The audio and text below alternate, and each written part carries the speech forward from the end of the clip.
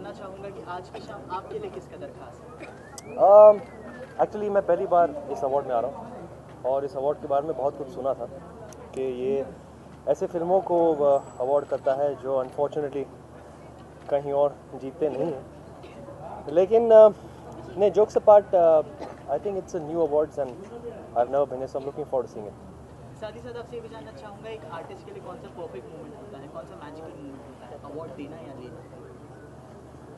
I think uh, जब आपकी बारी होती तो आपको रिकग्निशन मिलता है।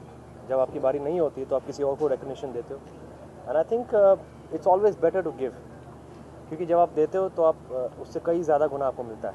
That's what I personally believe साथ ही साथ क्या इम्पोर्टेंट है? अप्रिसिएशन या awards I think awards are appreciation लेकिन मेरे ख्याल से आपका सवाल था कि अवार्ड्स या रिवॉर्ड्स रिवॉर्ड्स तो भैया बॉक्स ऑफ़िस में मिलता है और आपके फैंस के द्वारा मिलता है आपको। You get blessings and you get good wishes awards is a recognition I think from the film industries point of view to award और to commemorate your work and to to give you some kind of recognition that you don't get outside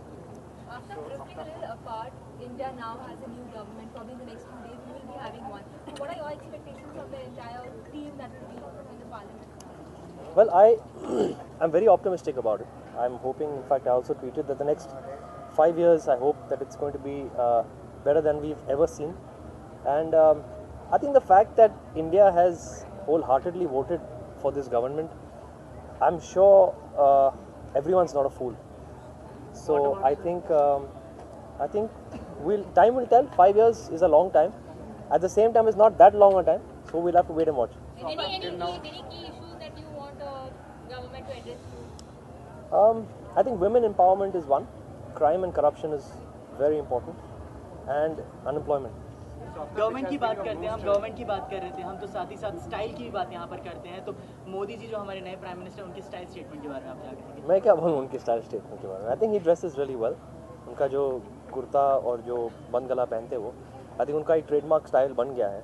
And I think he chooses very vibrant colors which is very good that just exudes it shows a lot about your personality आपका next Which has project been की your बात most uh, memorable award like till now, which, you- which you can know? I think my first ever award जो काफ़ी साल पुराना है uh, सन 2000 में मेरे ख्याल से I got the screen best debut award so that award is always going to be very special to me आपका अब आने वाले uh, दिनों में कौन से प्रोजेक्ट्स हम बहुत जल्द आपके देखने वाले हैं Not yet. I'm just about to sign films. Um, took a little bit of a break, But now uh, hopefully we'll be signing and getting back to business. So what do you li- like to tell about uh, National River Ganga?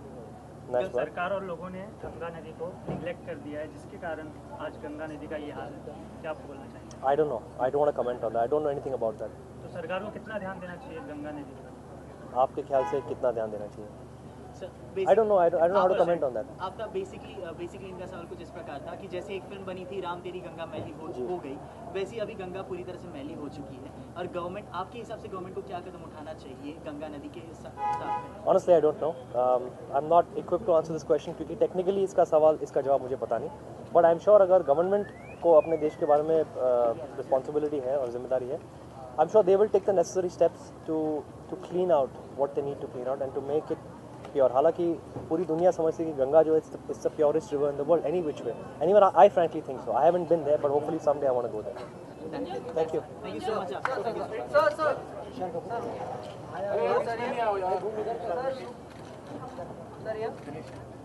Sir सामने मेरी तरफ़ thank you